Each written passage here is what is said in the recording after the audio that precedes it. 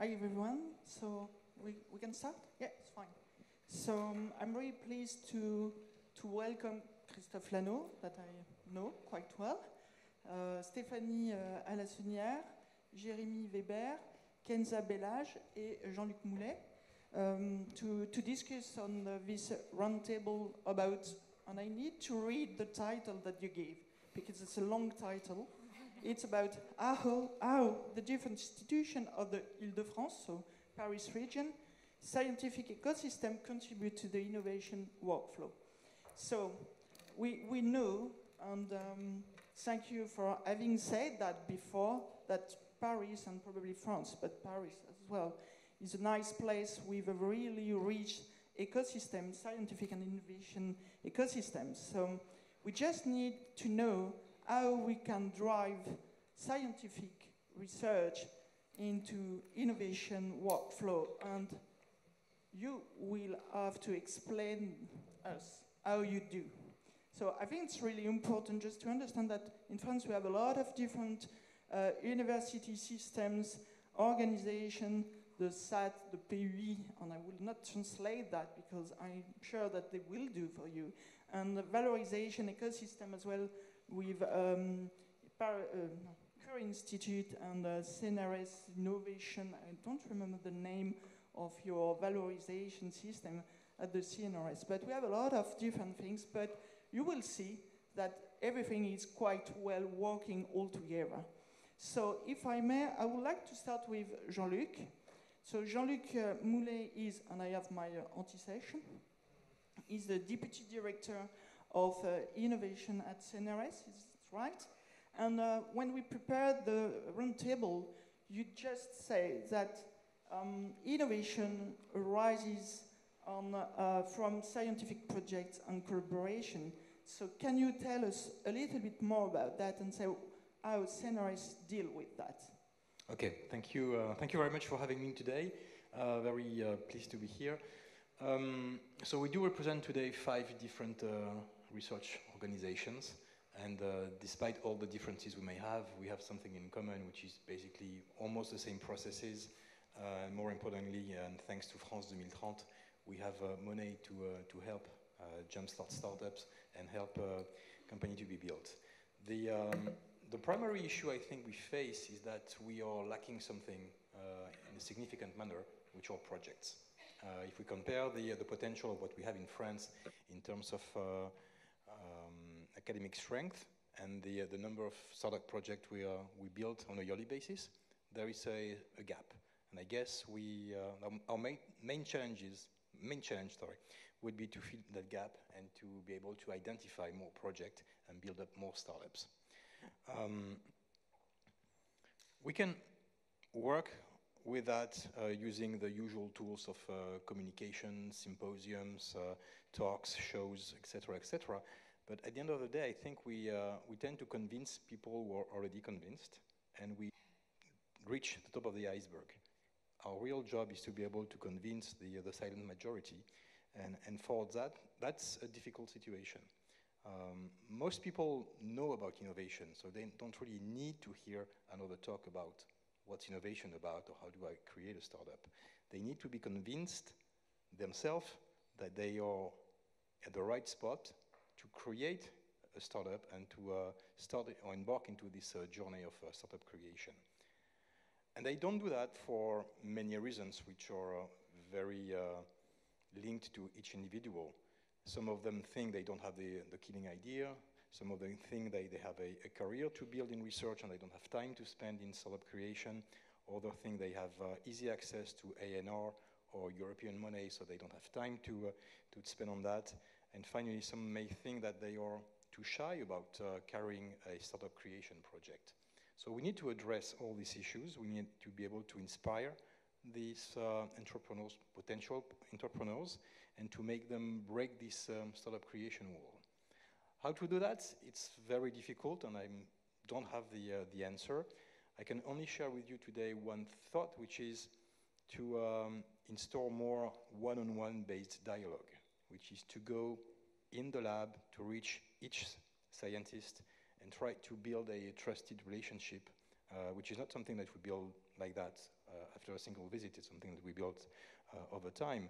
And uh, we need to discuss with them in a very tangible, concrete manner about their own research and understand in their own research results what is being transferable and which are the, uh, the assets they can build something uh, upon and then provide them uh, individual guidance, etc.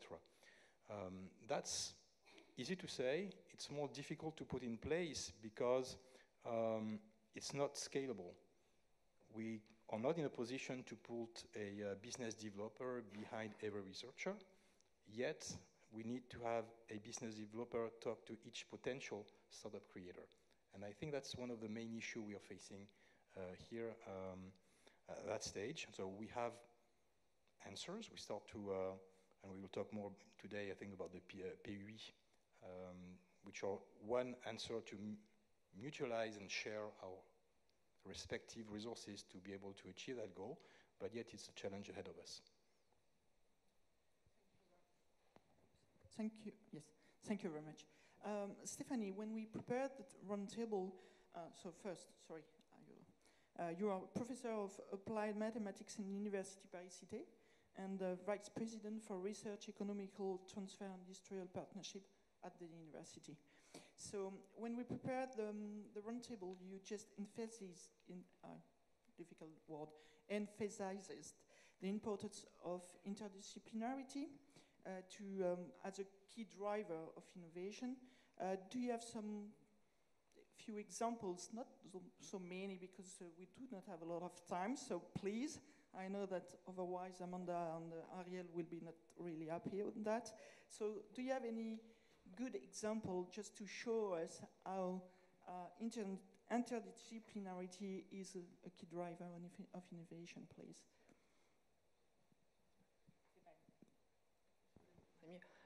That's better. Uh, yes, sure.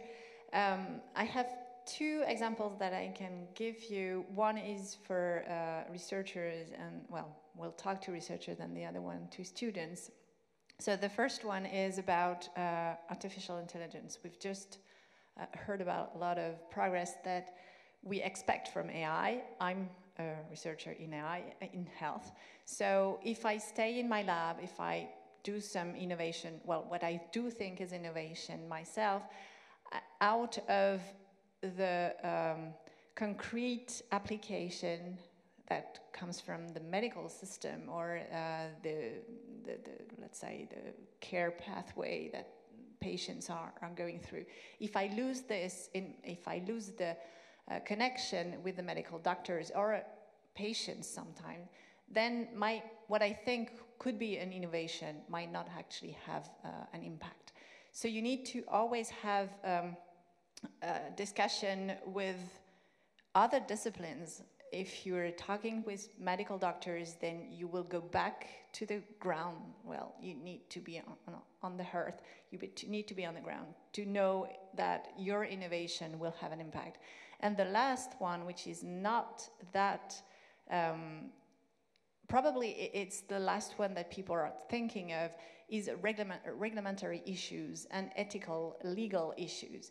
If you take an innovation at some point, this will come into play, and you will have to have experts of ethics, uh, regulation, and so on and so forth to talk to. And if you're not able to talk to them, and if you're not able to communicate with the same language or almost the same language, then you lose the, um, the, the the speed that you started to have to put your innovation on market. So in health system, you need to have the three pillars, the scientific ground, the medical application, and the regulatory issues. Um, so, and this is what we try to uh, give as a motto for our researchers. Don't forget interdisciplinarity. And we have created for students a master which is called Bioentrepreneur. This master degree, so it's a, a M2, but people come after a PhD, for example tries to create the future bio-entrepreneurs in tech with all these interdisciplinary aspects. We want them to have both the um, ethical, regulatory, business um, capacity, but we also want them to have a way to discuss with medical doctors if they're not coming from medical uh, side. And we have we, we want them to know about science and sufficiently so that they can talk to the scientist. And so this master is really trying to focus on this internability um, background that student must have to go uh, and try to create the new startups. Thank you very much. Jeremy, we, we talked about the, um, the fact that the Curie Institute, and you are on the director of the, um, I think, director, deputy director, sorry, uh, maybe in the ne next time you, you will be the, the director of the um, tra technology transfer at the Curie Institute. And we, we talk about the, the link and the, um, the way of um, bridging the gap between research and medical worlds. Can you tell us how um, Curie Institute deal with that? And how do you think, or why do you think that can contribute also to the innovation workflow? Okay, thank you. Um, so I will try to be short, but I will come back 100 years ago. Uh, I then I will be short. Uh, when Institut Curie was founded, so a little more than 100 years ago, uh, it combined in the same place, two different buildings, but uh, next, uh, close together, uh, research and patient care. And it's part of our DNA, and 100 years later, um, we still have a research center dedicated to basic research with 1,500 uh, people, um, hospital dedicated to cancer treatment with 2,000 people, and many bridges to make the researcher and physician work together. Uh, for instance, we have some medical scientific programs that are dedicated to six different topics, for instance, uh, immuno-oncology, oncopediatry, breast cancer, that combine, that are led by both a researcher and a physician, and that have time, that have teams uh, to work on these different subjects that combines both medical doctor and uh, researcher. And the output of this is that we have what we see, we have more mature projects, and as uh, Stephanie mentioned, with uh, more mature proof of concept because it was done with between researcher, physician, involving patient samples sometimes, and also uh, more mature vision of what can be done with the invention. And that's very important. Uh, what would be the application? And at the end, uh, we have some uh, startups, more and more startups that are funded by a researcher and a medical doctor, which is an illustration of this uh, fact of working together. Thank you very much. Uh, just to, to move a little bit on another way, Christophe, uh, you are the, the director of the research and platform department at Genopole. So, uh, and you have a long past at Sanofi. So, for everyone, uh, Genopole is a biocluster fully dedicated to biotechnologies, where you can find synthetic biology, but also um, biotherapies and gene and uh, cell therapies. And um, I would like to, to know, how, and they would like to know, uh, how Genopole uh, drives innovation as a biocluster, which is uh, something different from the other uh, structures that we have here. And just to make a link with the previous uh, presentation, uh, what do you think about the fact that putting synergy between synthetic biology and uh, biotherapies uh, can be a real um, opportunity for biotherapies innovation. Thank you.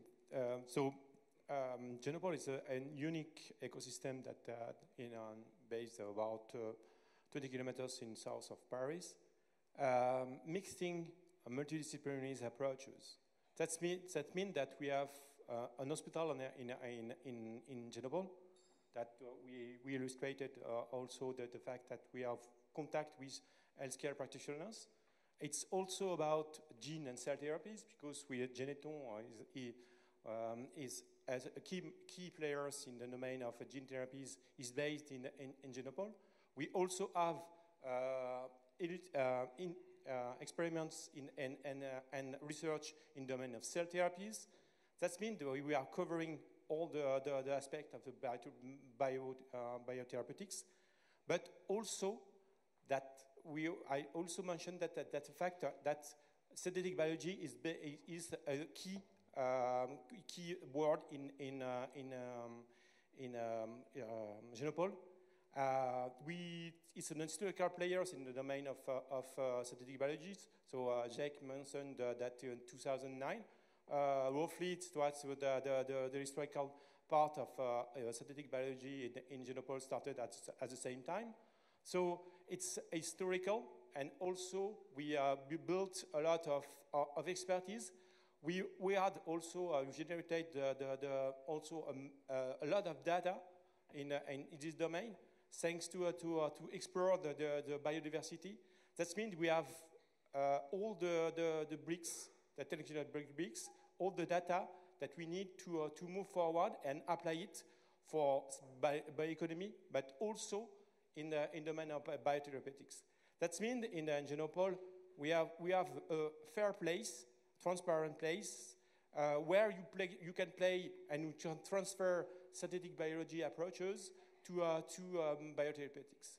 It's also about, uh, and Jack mentioned that, the, the, access, the access of, the, of, the, of unique uh, ex, um, experiments and, and, uh, and platforms and we have uh, 25 platforms in Genopole accessing the, where uh, startups could access to, the, to, to, this platform and leverage the, the possibility of their, of the research thanks to the success of this kind of, uh, of, uh, of techniques. We also have the, the, the way, it's a, also a way about sharing expertises to, to support this, this, uh, this, um, this startups. We also have also have the possibility to, to, to support pre-seed and post-seed startups thanks to, to, to Shaker and Gene.io initiatives. It's about also the, the research, you know, because we have 17, 17 units, public academic labs in, in Genopole. So it's mixed of an ecosystem connected to, to it's, it's not uh, completely um, dense, it's also connected to, uh, to, to other players. We are, we are part of the, of the, um, the biofoundry, uh, um, the common biofoundry mutual biofoundry in Paris. Uh, we are working with, uh, with uh, Stéphane and Ariel uh, together.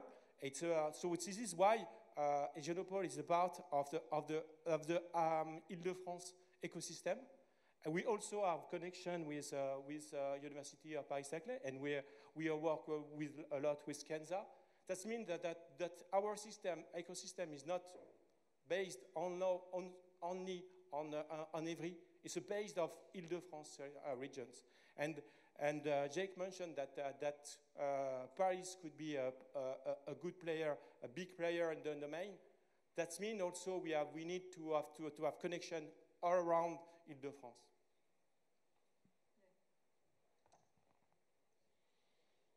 Being at the Agency of uh, Innovation and Health, I should say that we, we, we need to work all together.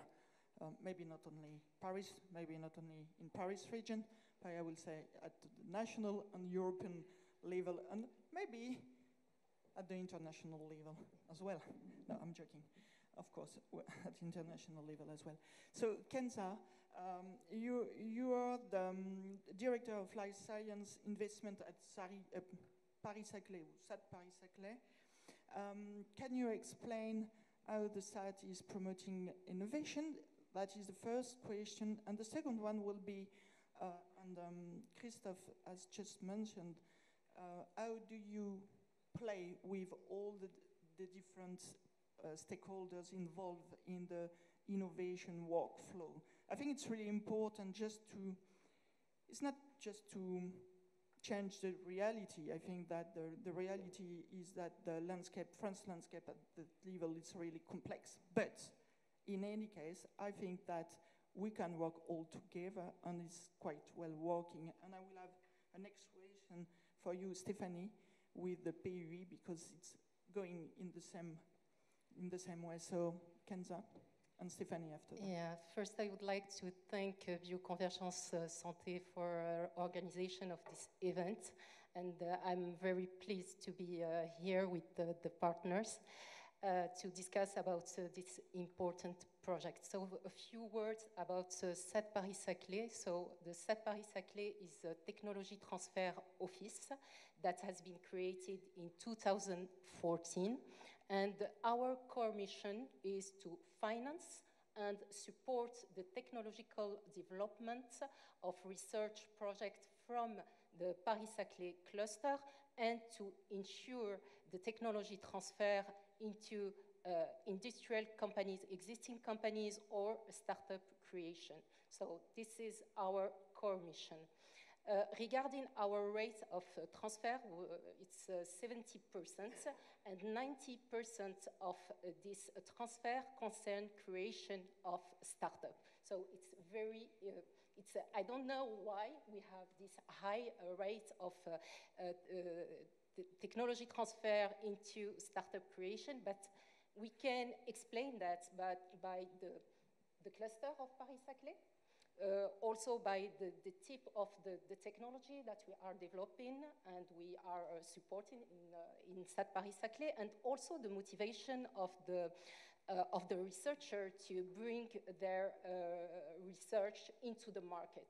Perhaps we can find another explanation to this high level of, uh, of uh, startup creation in our uh, in SATT Paris-Saclay. So, and just to say that uh, since our creation, uh, 33 startup has been created and 14 startup has been created in uh, bio in um, healthcare area and that con concerns therapeutic product, medical device, and also dig digital uh, project uh, healthcare. So, and regarding the second question, yeah, the, we, I think that uh, uh, since our creation, it was very important for us to build a strong and closely uh, relationship with other partners in the, in the cluster because we have the same goal and the same aim is to accelerate the, the flow of the project of innovation and to convert them to uh, the product. So that's why we, we work with uh, our partners to identify the, the projects that uh, have a high level of, uh, of uh, valorization and also to, um, to uh, define the best strategy of technology transfer of this research and to guide the, the researcher into the, the appropriate finding uh, tool that we can propose. That's, and it's very important, and uh, this uh, strong relationship and, relation, and this uh, closely relationship with partners is reinforced uh, thanks to PUI. So, uh, and, and just to say that La SATT Paris-Saclay is involved in two PUI, uh, one with the CNRS and University of Paris-Saclay, and the other one with l'Institut Polytechnique de, de Paris. Yeah, just, yeah um, ju just for everyone, the, the Ministry of Research has recently established University Innovation Pole, so, which is the PUI in French, and one of the awards is, is the Université Paris-Cité. So, Stephanie? Yes, so um, actually, as, as uh, Jean-Luc was saying, we are uh, different entities, but actually we have the same uh, expectation. And uh, this call was really interesting because it really focuses on uh, geographical areas. So basically, uh, although we are very close to Sorbonne University, our labs are different, so our technologies that will come out are different. So trying to lead uh, the transfer and the innovation uh, inside each different geographical region that is defined by the university is something that was very important. And this is also why the CNRS, who is a national institute, takes part of each, but really uh, tries to uh, make national, well, I can say a national politics, although with some differences depending on the local states. So the, the, well, the local area. So in, in Paris Cité, we have Vallocité, which is one of the um, 29 that we have in France. And so we have uh, the interdisciplinarity that is uh, really uh, um, one priority, and trying to organize the innovation workflow from acculturation to uh, the high um, high product level, well, something that you can put on the market, is really something that we have to construct. And the second thing that we really want to do is to go um, beyond the only uh, technological readiness level and try to have another um, grid of lecture, uh, which is the impact on the society. And this is why also the region Ile-de-France is part of this uh, pôle, universitaire d'innovation because we want to have an, a local impact on the citizens and the ecosystem. So these pôles universitaires d'innovation are really constructed to run on a geographical area sitting on the universities. Thank you very much. Uh, I have a last question for Jean-Luc. Uh, would you recommend to all the researchers to become a CEO? Definitely no. um, to be a great CEO, that uh, requires a lot of skills. Uh, to be a great scientist, that requires also a lot of skills, but not, not necessarily the same. And if we look at history, if we look at the, the Bill Gates of the world, the uh, Steve Jobs, Mark Zuckerberg, etc., they are not scientists by trade. They are great CEOs, but not scientists. And there is no reason why a scientist should be a great CEO. So here I'm kind of reaching a contradiction because on the one hand, we're trying to uh, incentivize uh, scientists to create the startups. And on the other hand, we're saying that they are not necessarily the greatest CEOs in the world. And both statements are true. Um, and to reconcile that, we need to, uh, to realize that scientists, they are very good at, uh, at having ideas, at having knowledge, at uh, being able to, to bring some breakthrough uh, thinking in, in, their, in their markets. And they are very good at initiating startup companies. Doesn't necessarily say that they are good at running these companies over the long term. Uh, because that requires different skills. That requires being able to have a business vision. That requires to be able to, uh, to gather a team, to manage this team. That requires maybe some charisma, uh, some financial knowledge, etc. And all these, they are skills that can be acquired over time, but you are not necessarily going to be the, the best in the world at do, in these topics, whereas you're already the best in the world at being a, a scientist. So don't mix up things, understand your boundaries and your limits, and let's uh, be able to give way to uh, more business-oriented people the, uh, the management of the, uh, of the startups. The good news is that scientists are not alone in that process. That's why TTO are in place. We're able to, uh, to talk to them, to uh, identify the right partner, the right business partner to, to run a company and make successful startups. Thank you very much. Do you have any recommendation for driving innovation? In addition to what you said before? Can yeah, try. Perhaps, yes, I would like to, to highlight the importance uh, to uh, continue the effort uh, for training the, the young researcher and also the experimented researchers about the, the, the, importance of intellectual property, the valorization, and also the, to, to, to learn the skills uh, for also creation of startup. So I think it's very, very important. Is there any question?